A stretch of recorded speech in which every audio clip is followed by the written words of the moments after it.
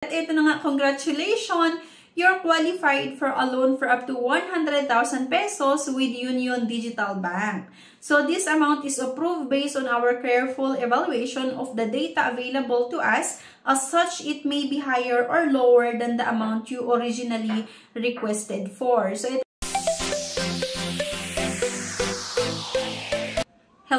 everyone! Welcome ulit dito sa aking channel and today's vlog. I-share ko nga sa inyo kung paano tayo pwedeng makahiram sa UD Loans kung sakali na wala kayong natanggap na invite codes from UD Loans. So by the way kasi sa akin na merong invite codes itong UD Loans sa akin na ginamit ko para makautang hanggang 100,000 pesos. So, pero bago ang lahat mga beshies, kung ngayon ka nga lang dito sa aking uh, channel, meron po akong good news kasi every Saturday ako po ay namimili ng tatlo na mabibigyan ng cash at every 25th of the month, nagpapag-giveaways din po ako ng cellphone. At para nga makasali, ang kailangan nyo lang po gawin ay mag-comment kung ano nga po yung napanood nyo, i-like yung video, i-share, at syempre, huwag niyong kalimutan na mag-subscribe para maging updated sa iba't ibang mga videos na ina-upload natin at maging updated ka sa announcement ng cash and uh, cellphone giveaways. So, here nga mga beshies, ang pag-usapan natin ito ng Union Digital Bank. Okay, so, open nga lang natin dito mga beshies at pwede nyo ma-download to ha sa Google Play Store.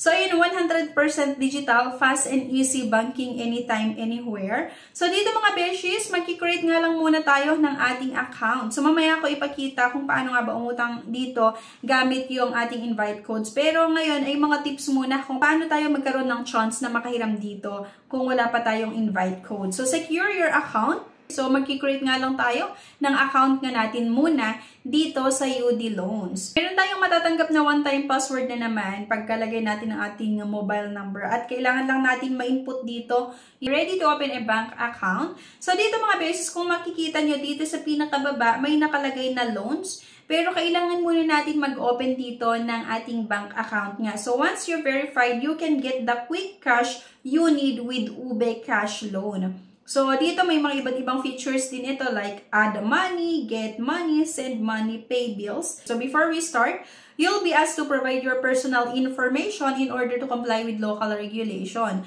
Filling out this application and kailangan nating mag-agree nga dito sa terms and condition at yung privacy policy. At mas maganda mga beses kapag gumutang tayo sa mga ganito or nag-create ng ating account, ay babasahin natin yung mga terms and condition at yung mga privacy policy nga. So, do you have a referral code? So, dito kasi mga beshes, meron akong referral code, pero ang ipapakita ko nga muna sa inyo ay kung ano yung mga sasagutin kapag wala nga tayong referral code.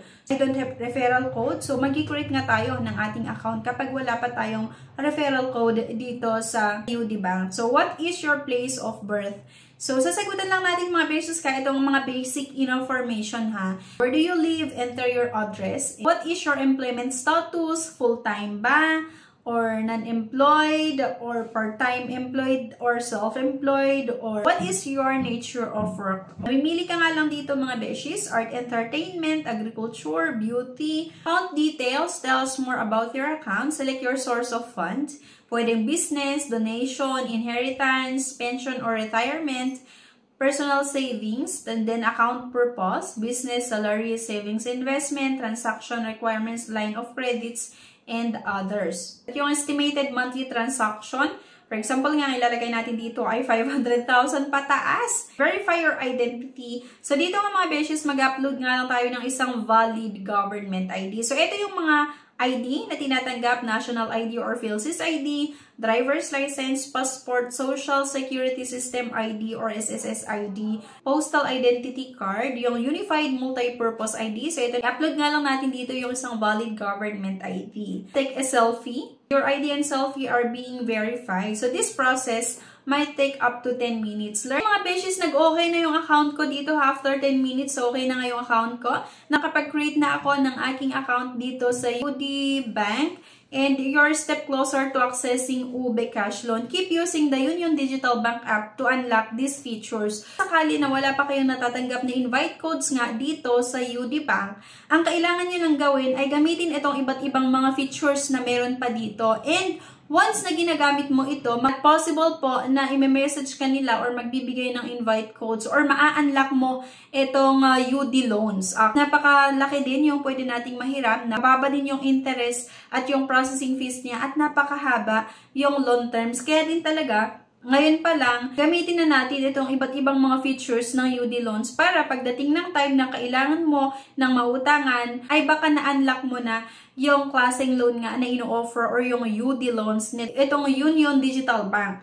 Kung wala pa tayong invite codes galing sa UD Bank, ang kailangan lang natin gawin, mag-create ng account muna at gamitin itong iba't ibang mga features na makikita sa app na ito. Okay? So, once na ginagamit mo yun mga beshes, magtataka ka na lang na na-unlock mo na pala yung UD loans na ino-offer nga ng UD Bank. Okay? So, sa akin nga kasi, isa yun sa mga ginawa ko at nakakatuwa lang na, na meron akong natanggap na invite codes sa UD.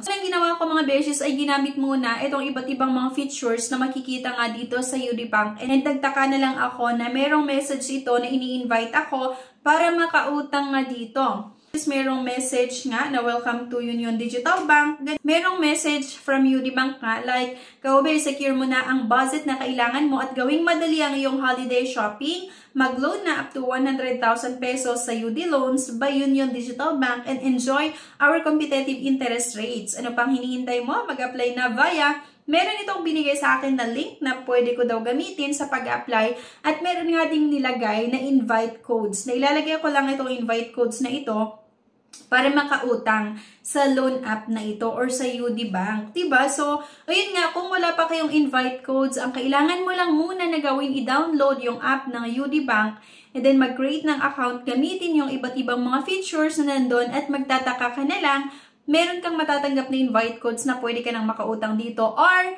pagka-check mo dun sa app nila, magtataka ka na lang na na-unlock mo na pala yung UD loans, diba? So, pwede ka na palang makautang. So, like nga yung nangyari sa akin. And ito na nga, UD Loans by Union Digital Bank. Book the trip of a lifetime. Renovate your home or pursue a passion project for whatever you need. Get extra cash through UD Loans by Union Digital Bank. So, why apply? Siyempre, fast way to get cash.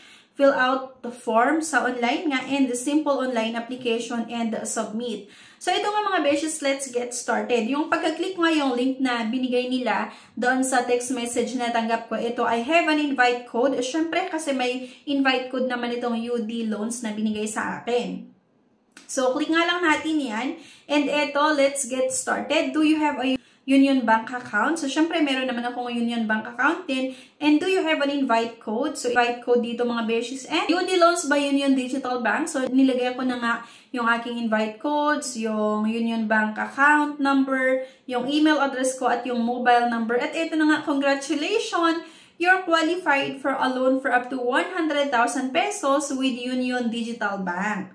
So this amount is approved based on our careful evaluation of the data available to us. As such, it may be higher or lower than the amount you originally requested for. So ito na nga, you are qualified for a loan for up to 100,000 pesos. So ito, for example mga beshies, 100,000 pesos yung ilalagay ko na loan amount, terms 12 months, loan purpose, and sagutin nga lang natin ito, have you taken any loans within the last 12 months? Do you have any outstanding loans? Ito yung possible na magiging monthly amortization ko. So, ito, amortization schedule.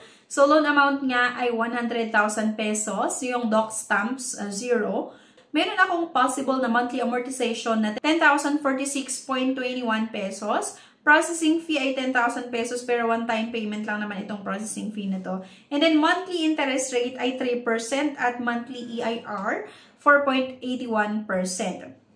So ito mga beshies, yung ating uh, magiging monthly amortization. So for example, na-aprobahan yung loan natin.